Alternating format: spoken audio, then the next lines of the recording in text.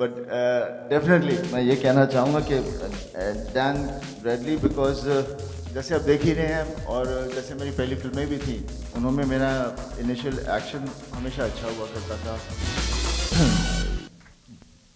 Hello everyone so far so good जैसे आप लोगों से लास्ट टाइम कहा था आप लोगों ने मेरा साथ देना फ़िलहाल अब तक तो आप लोगों ने मेरा साथ दिया है। बस अब पाँच फेब तक डटे रहिए, फिर आगे पिक्चर करेगी जो उसने करना है।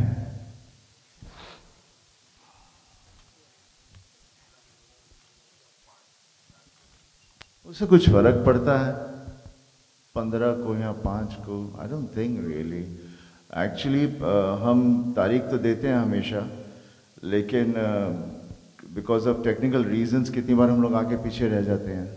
कोशिश हमेशा एक्चुअली मैं अगली बार तो तारीख ही नहीं दूँगा जब तक मेरी technically I am not completely clear with it because उसके बाद फिर ऐसी चीज़ों के बारे में बात करनी पड़ती है but definitely let the be a positiveness to it and और तो कोई रीज़न नहीं है दस नो अदर रीज़न ये नहीं मैं कह सकता कि आई डोंट नो मैं क्या कहूँ क्या इसके अलावा? बस यही कि definitely we are coming on fifth web and जो भी टेक्निकल हिचेस थे सब ठीक हो गए हैं and there we are Hi, uh, Sunny sir, I'm from the Bus Diary over here.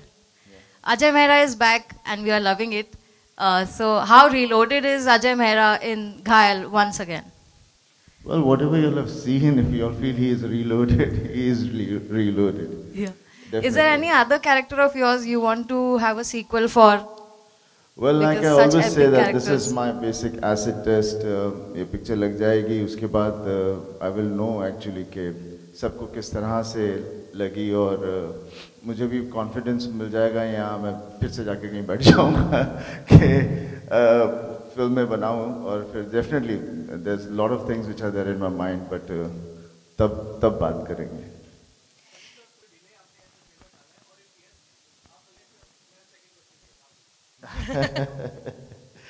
नहीं, हम लोग ट्रेलर दूसरा भी डालने वाले थे पहले but we were suppose to bring it out some the first week second and third को हम लोगों ने I having a gonna have a press conference I was suppose to do everything but technically like मैं बोल रहा हूँ, मेरी चीज़ें रेडी नहीं थी so we help back and then definitely it's दो हफ़्ते पहले ही चीज़ आए, उसके पहले आई हुई ऑलरेडी और गाना भी as a matter of fact ये डिले से हमें फ़ायदा इस चीज़ का हुआ डेफिनेटली एक अवेयरनेस बढ़ गई। दूसरा मेरा जो गाना था, लपक छपक has caught on with youngsters जो मुझे कहा जाता है तो मैं मानता हूँ।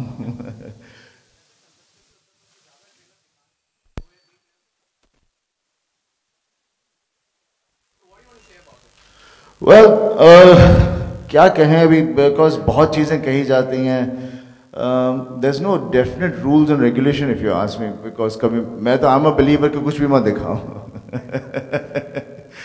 बट जिस तरह से आज हमारी जो हमारा माहौल जो चल रहा है वहाँ पर अक्सर बहुत चीज़ें दिखा देते हैं पर फिर भी मैंने काफ़ी कंट्रोल रखा है काफ़ी कंट्रोल रखा है। सनी सर।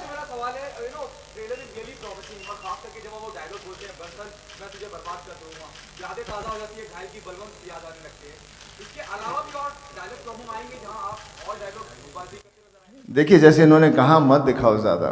तो आप क्यों सिनेमा में जाके देखो ना? प्लीज़ सिनेमा में देखिए, उसके बाद फिर आप लोग बताइए कि क्या है। बिकॉज़ नहीं तो फिर जब सिनेमा में नहीं जाओगे तो टिकट नहीं खरीदेगा, टिकट नहीं खरीदेगा तो पिक्चर कैसे बनाऊँगा मैं? हाँ जी।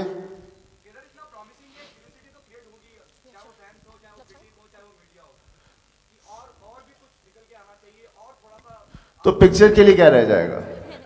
आई थिंक मिशन ऑल इतना इतना बहुत है बट इट्स वेरी नाइस अच्छा लग रहा है जो आप कह रहे हैं डेफिनेटली मैं चाहूँ तो ऐसी ही पिक्चर रिलीज़ कर दूँ कुछ भी ना करूँ बट uh, इतनी मेहनत की है इतना कुछ किया है तो डेफिनेटली सिनेमा में जाके लोग देखें और फिर उसके बाद जो होना हो सो हो.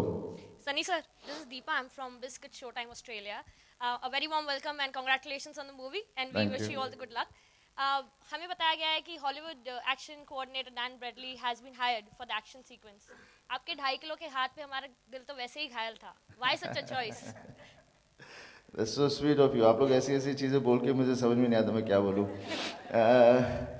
बट डेफिनेटली uh, मैं ये कहना चाहूँगा कि डैन ब्रेडली बिकॉज़ जैसे आप देख ही रहे हैं और जैसे मेरी पहली फ़िल्में भी थी उन्होंने मेरा इनिशियल एक्शन हमेशा अच्छा हुआ करता था। स्क्रीन uh, पे होता था एंड बिलीवेबल होता था। तो that's why needed to bring in Dan Bradley because उनकी जैसे ही is famous for the film जो आप सब देख ही चुके हैं बॉर्न अल्टीमेटम आइडेंटिटी और और भी ढेर सारी।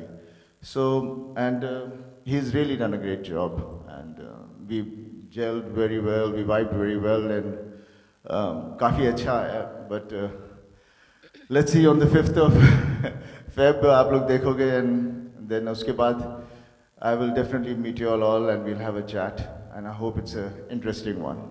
Uh, Sunny sir, we have seen you in doing all sorts of action. Which was the most difficult one for you to just bring it out? We have seen the intense action. Any one particular scene which was very difficult for you to get out, get, get in? You see, the difficulty is not the basic thing because, like I, I, I, I do these things because for me it's a thrill. It's a basically a adrenal thing. Difficulty um, आजकल तो थोड़ी सी भी हो जाती है because back इतनी देर तंग करती है कभी कभी तो डिफ़िकल्टीज हो जाती हैं बट uh, जैसे होता है ना जिस चीज़ का आपको प्यार और शौक हो तो उस वक्त आदमी आगे ही बढ़ता है Hi, congratulations for the trailer. It's uh, right here, straight uh, on your uh, right. Hi. Hi. Congratulations for the trailer. It looks really, really amazing. Uh, Soha Ali Khan is also the part of the film, but off late, I think she's not been promoting the film, and today also she's not there. Uh, can you tell us some specific reason why she's not there? The no, there's no such specific reason. I would love to have everyone over here, but then you know nowadays everybody is so tied up with so many things. Sometimes we are available, sometimes our schedules ऊपर नीचे हो जाते हैं. And on a particular day they were available, then they are not available. So ये चलता रहता, but uh, there's no other definite reason be, beyond that. Sunny sir यहाँ यहाँ सर फिफ्थ को फ़िल्म रिलीज़ हो रही है लास्ट का जो एक वीक होता है फ़िल्म को बहुत ज़्यादा प्रमोट करते हैं स्टार्स अपने रिलीज़ से पहले। आपकी क्या स्ट्रैटेजी होगी? किस तरह से प्रमोट करेंगे उस एक हफ्तों में? यार कोई ऐसी स्ट्रैटेजी तो नहीं है जो बाकी नहीं करते।